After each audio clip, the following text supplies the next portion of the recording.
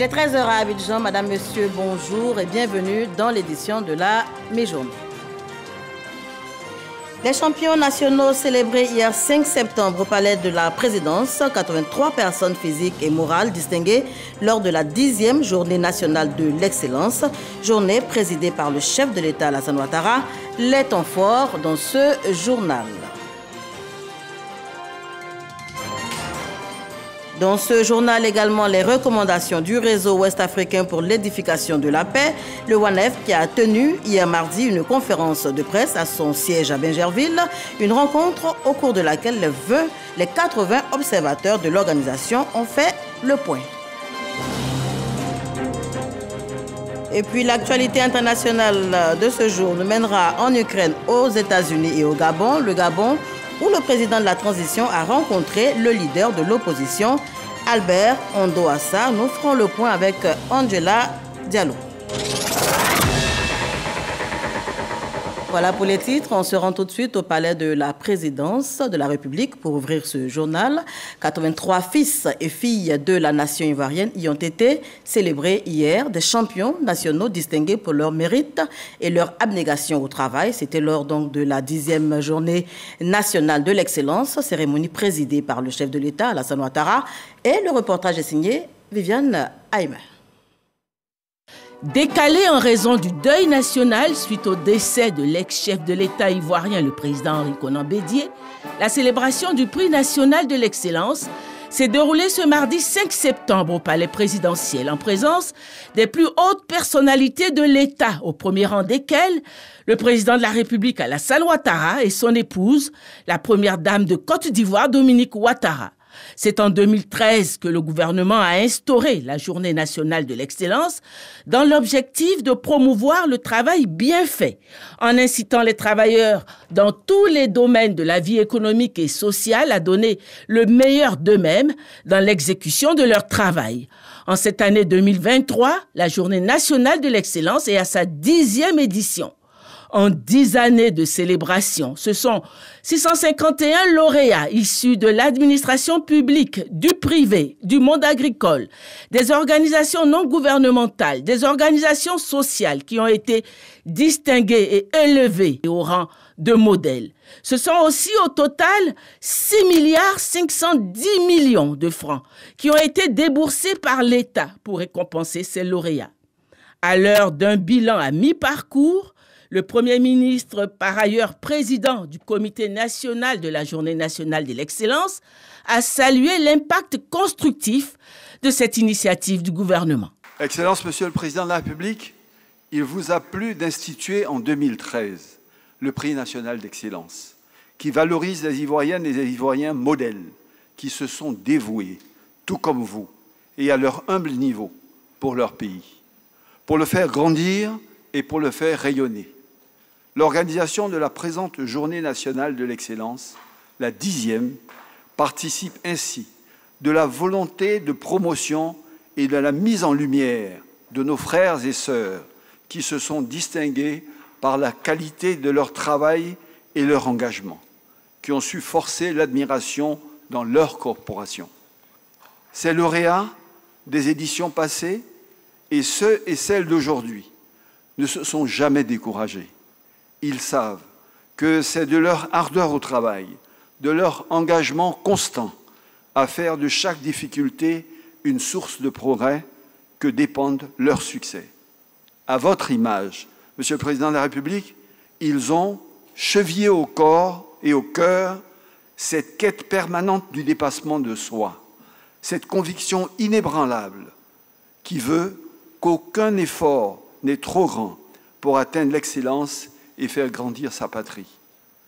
Et cette dixième édition consacre et confirme la clairvoyance d'une vision qui a su irriguer le corps de notre nation, celle d'une Côte d'Ivoire où le travail, le mérite et l'effort sont érigés en valeur cardinale. Cette journée nationale de l'excellence nous incite à serrer les rangs derrière votre vision pour aller toujours plus haut et toujours plus loin. Pour cette édition 2023, ce sont 83 lauréats qui viennent d'être distingués et récompensés. Ces 83 lauréats se composent de 47 personnes physiques, dont 33 hommes, 13 femmes et un couple, et de 36 personnes morales, dont 12 structures publiques, 17 entreprises privées, 4 sociétés coopératives et organisations non gouvernementales et 3 associations de développement et organisations socioculturelles.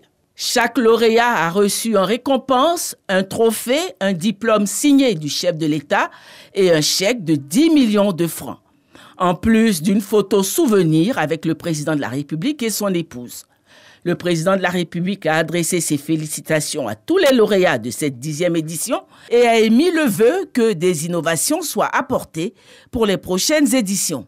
Je voudrais féliciter le Premier ministre Patrick Hachi, président du Comité national du prix national d'excellence, pour la qualité des résultats présentés cette année. Cette euh, dixième édition est aussi l'occasion de faire euh, un bilan et de procéder à une revue du dispositif afin d'améliorer davantage euh, les éditions à venir. Je demande donc à Monsieur le Premier ministre, chef du gouvernement, de conduire des réflexions dans ce sens et de nous soumettre des propositions dans les meilleurs délais. Chère lauréate, euh, chers lauréats, pendant plusieurs années, vous avez travaillé dans la discrétion, avec courage et abnégation, pour être des modèles pour vos collègues, vos amis, vos familles, et plus généralement pour l'ensemble de la société ivoirienne. Je voudrais donc vous adresser mes très vives et chaleureuses félicitations Bravo à vous et je suis très, très, très, très fier de chacune et de chacun de vous. Je voudrais féliciter tout particulièrement nos jeunes lauréats et lauréates. Je tiens à vous réaffirmer mon engagement à continuer de soutenir notre jeunesse et à vous garantir les meilleures conditions pour votre plein épanouissement et votre participation active à la construction de notre pays. Je vous encourage, chers jeunes, à persévérer dans l'effort et à demeurer des modèles d'engagement, d'engagement citoyen et de réussite scolaire et professionnelle pour tous.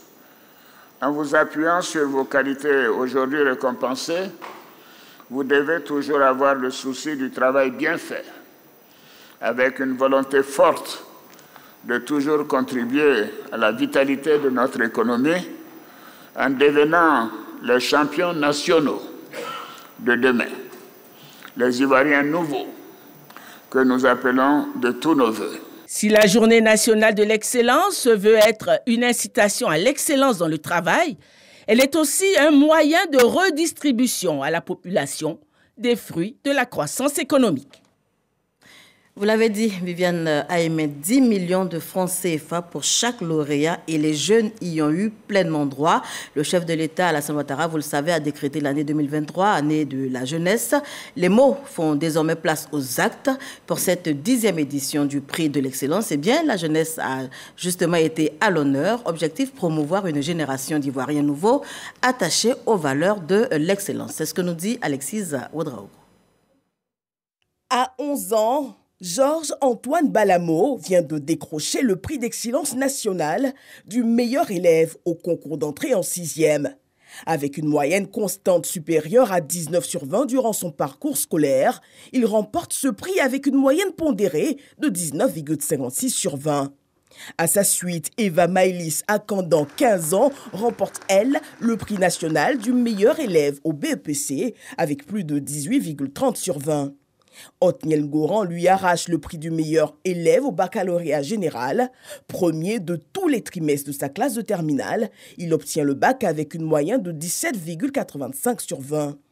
Ce mardi au palais présidentiel, dans cette célébration de l'excellence, la jeunesse était à l'honneur. Laurence Nguessan, prix d'excellence de meilleur chef d'entreprise catégorie jeune, salue d'ailleurs cette reconnaissance de l'État. C'est une fierté nationale d'être euh, reconnu pour son travail dans sa filière, le développement du capital humain en Côte d'Ivoire et dans la sous-région. C'est une grande joie, une reconnaissance, mais surtout un grand challenge parce qu'il reste beaucoup encore à faire et il faut relever les défis. Avec elle, Akuba Angola, prix du meilleur restaurant. Dabali Express est une jeune chaîne qui a aujourd'hui seulement deux ans. Et nous voir être reconnus nationalement par le président de la République, franchement, c'est un coup de boost qui nous montre qu'on est sur le bon chemin, est sur la bonne voie et qui va nous encourager vraiment à faire encore plus et à maintenir ce prix-là. Parce que notre ambition, ce n'est pas seulement d'avoir ce prix cette année, c'est de l'avoir l'année prochaine, de l'avoir l'année prochaine, d'avoir encore trois prix même d'affilée, de faire la fierté de la Côte d'Ivoire et de l'Afrique tout entière. Des jeunes qui osent de plus en plus et qui, portés par la volonté d'excellence du gouvernement ivoirien, entendent aller toujours plus haut. Voilà, les jeunes à l'honneur et les femmes ne sont pas en reste.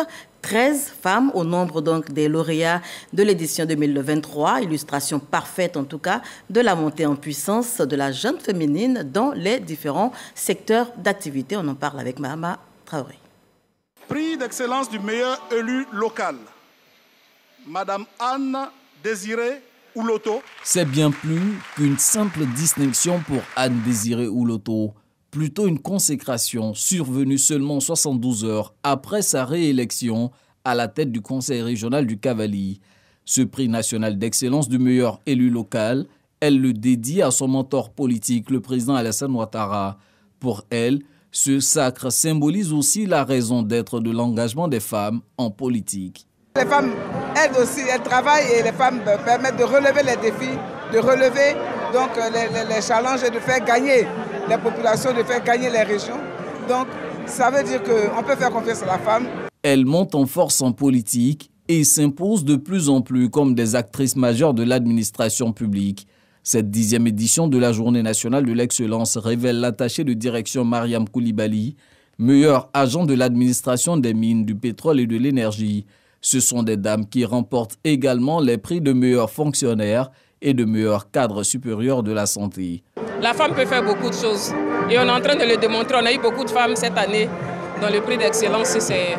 C'est fait pour nous plaire et ça montre qu'on peut faire beaucoup de choses dans le pays aussi.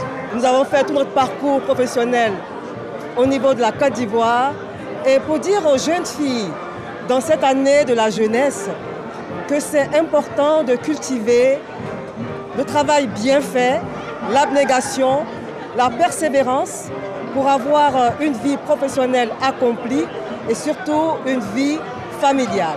Dans le monde des affaires, les femmes tirent leur épingle du jeu.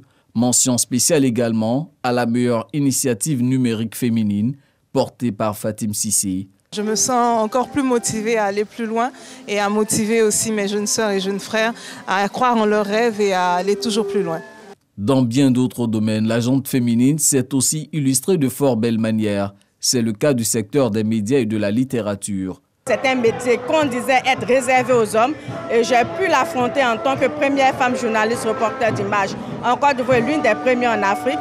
Aujourd'hui, c'est avec brio que je, je, vis de ce métier et aujourd'hui, j'arrive à former toute une génération à cette pratique de métier. La Côte d'Ivoire, femme, la Côte d'Ivoire de bien travailler parce que euh, le travail paye.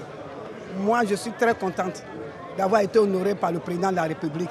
Donc prochainement, je vais faire plus. Ce prix représente beaucoup de choses. D'abord, la reconnaissance du travail accompli par les femmes de Côte d'Ivoire, la possibilité aux femmes de Côte d'Ivoire de s'imprégner, on va dire, de la, chose de l'entrepreneuriat.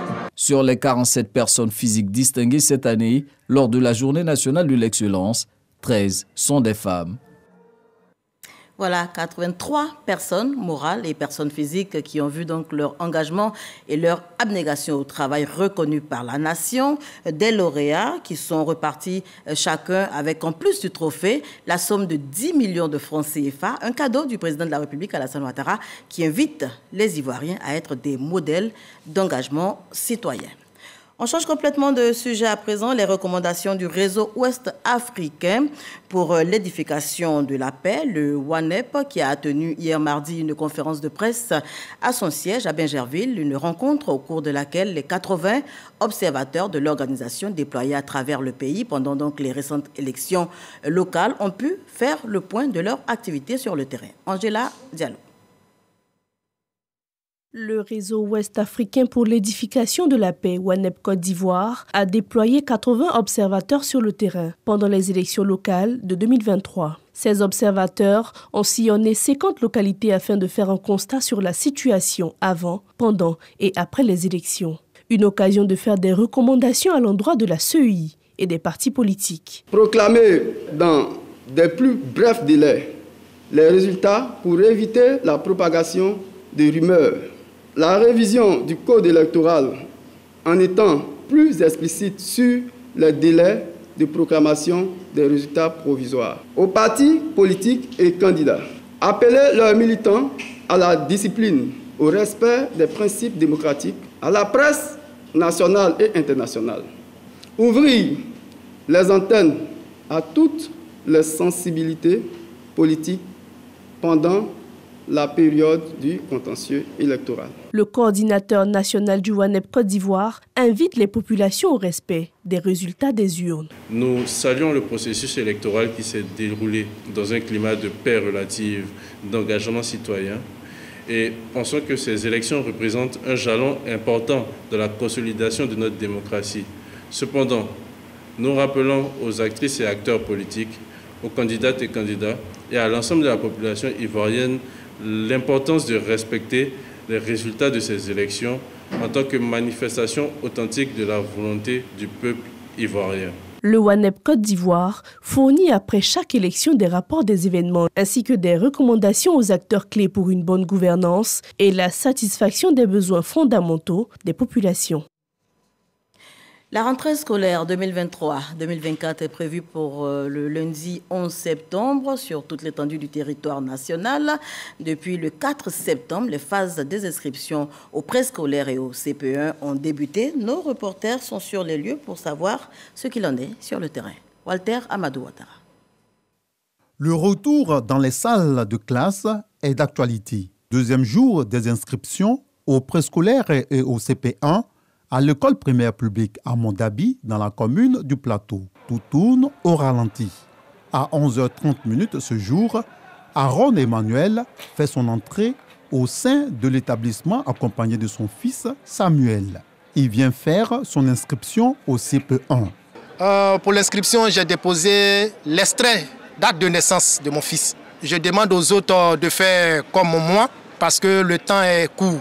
Pour le petit Samuel, c'est un moment inoubliable dans sa vie. Il est prêt à aller à l'école. J'ai parti à l'école cette année. Motivation chez le petit Samuel, mais ambiance morose dans l'ensemble. Hier, on a fait les inscriptions. Nous en avons eu trois. Trois inscrits. Et aujourd'hui, comme vous le constatez tout à l'heure, on va inscrire un. Donc au total, ça fait quatre élèves. Mais il faut dire que c'est lent. C'est vraiment lent ce n'est pas ce nom que nous voulons entendre. Parce que ici, nous sommes dans un groupe scolaire de quatre écoles. Après le plateau, cap est mis sur Adjamé. Dans une autre école primaire, même constat.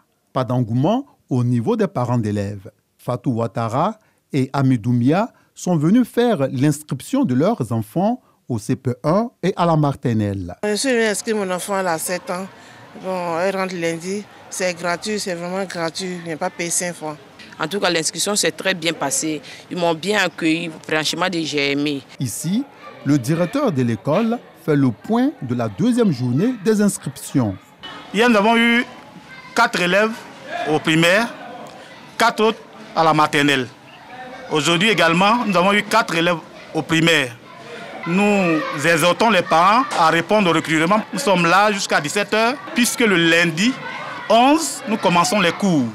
C'est pour eux que nous sommes là. Pour cette opération, tous les enseignants sont là.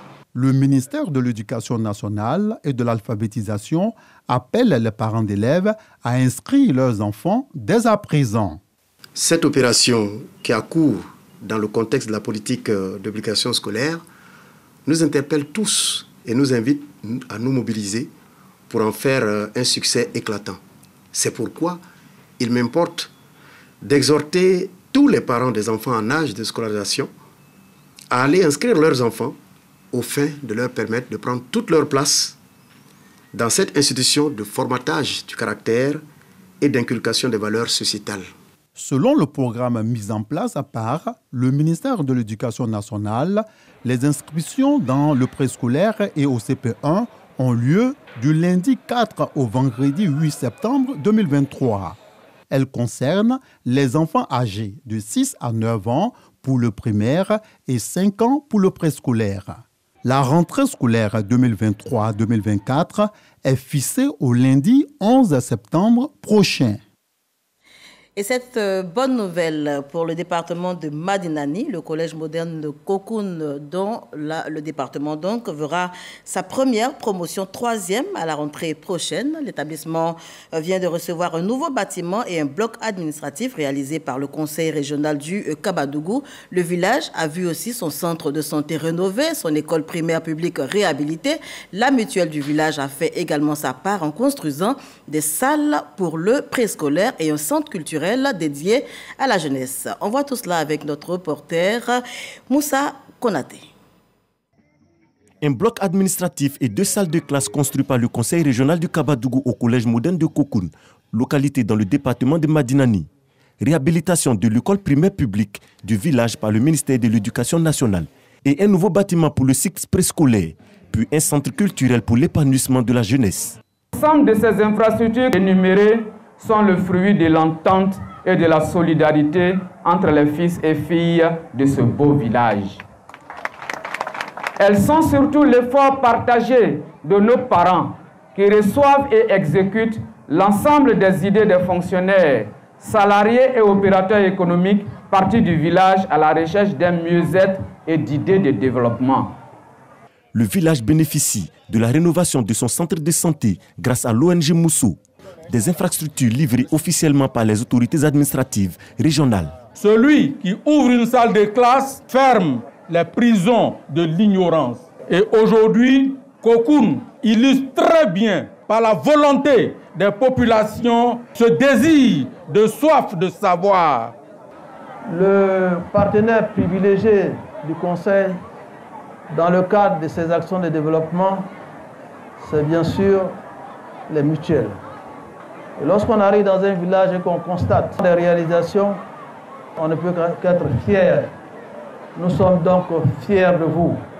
Des réalisations à la grande joie des populations de Cocoon.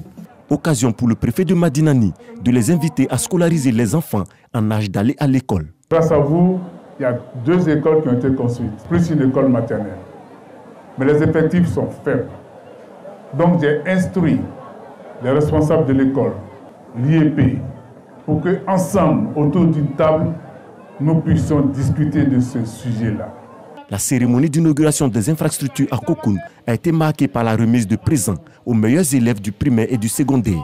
Les membres de la mutuelle se sont aussi réunis pour échanger sur les perspectives de développement du village. Durant cinq jours, une cinquantaine de jeunes filles issues des lycées et collèges de la région de Gbeke ont été formées dans des domaines euh, des sciences, technologies, ingénierie et mathématiques. Une rencontre dénommée Regional Girl STEAM Camp qui s'inscrit dans le cadre du projet compétences du programme Compact Côte d'Ivoire. Il est question, notez-le, de développer le plein potentiel et de booster la créativité des jeunes filles par le biais d'activités ludo-scientifiques. Explication Djeneba Ouattara, Soro Corona. Fin de formation pour 50 jeunes filles élèves des classes de 6e à la terminale issues des lycées et collèges de la région de Gbeke. Elles reçoivent leur diplôme de participation après 5 jours d'apprentissage dans les domaines de la STEAM, c'est-à-dire la science, la technologie, l'ingénierie et les mathématiques. Nous sommes à la première édition du camp appelé Regional Girls STEAM Camp, une activité qui vise à susciter l'intérêt et l'amour des sciences, à renforcer les compétences scientifiques et encourager les filles à envisager des carrières dans les STEAM. Cette première édition du camp STEAM du MCA, Millennium Challenge à Compte Côte d'Ivoire, bénéficie de l'appui financier du MCC, Millennium Challenge Corporation, en partenariat avec le ministère de l'Éducation nationale et de l'alphabétisation. L'activité s'inscrit dans le cadre de la mise en œuvre de la politique genre dans le secteur de l'éducation. En quatre jours, elles ont fabriqué du savon. En quatre jours, elles ont montré comment les feux tricolores fonctionnent. En quatre jours, les, les portes coulissantes, comment ça fonctionne? Ça veut dire qu'elles peuvent fabriquer tout ça si elles ont tous les moyens à leur disposition. La Côte d'Ivoire, pour se développer, a besoin de ses filles et de ses fils, des femmes et des garçons. Aujourd'hui, grâce à ce genre d'activité, les filles vont comprendre qu'elles sont capables, elles aussi, d'être des femmes scientifiques.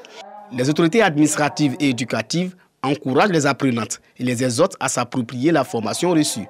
Pour les bénéficiaires, ce fut une expérience enrichissante. J'étais très contente parce qu'il y a des choses que je ne connaissais pas. Et puis, j'avais peur des, des mathématiques. Je me suis dit que les mathématiques étaient faites seulement pour les garçons et les filles devaient faire la littérature. La visite des travaux d'atelier a mis fin à la cérémonie de clôture du camp STEAM.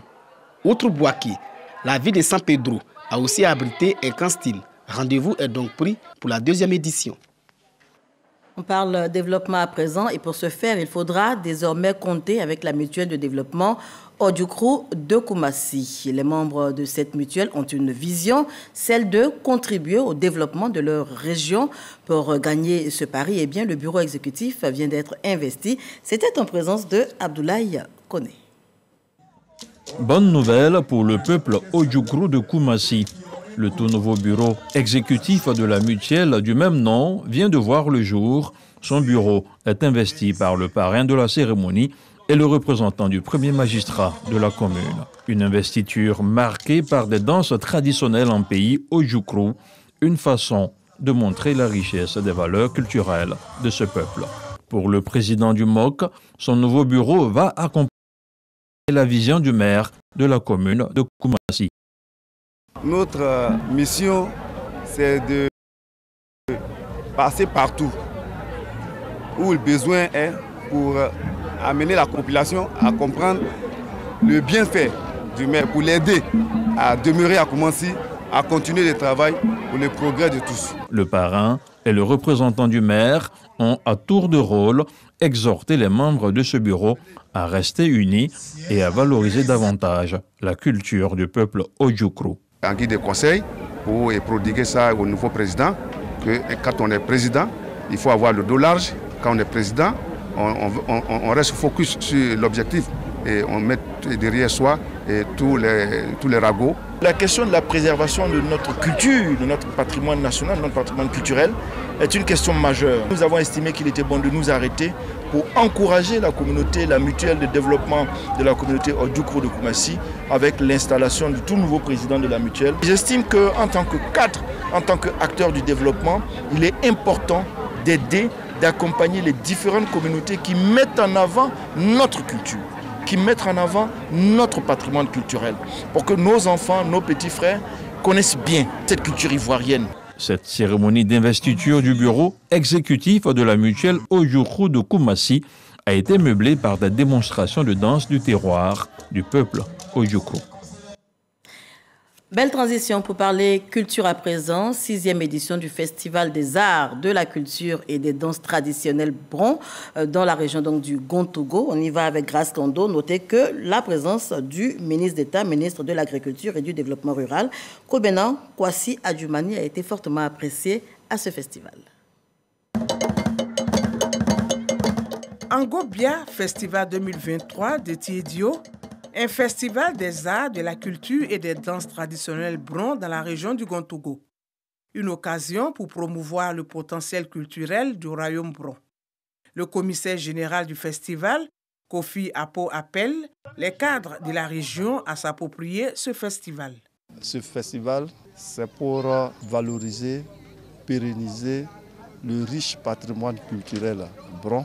Donc, nous attendons que les cadres viennent ensemble nous allons faire évoluer le festival. Le ministre d'État, ministre de l'Agriculture et du Développement rural, Kobena Kwasi Adjoumani, a salué et encouragé la pérennisation du patrimoine culturel. Nous sommes heureux d'y participer et de prôner le message de la cohésion, de la paix.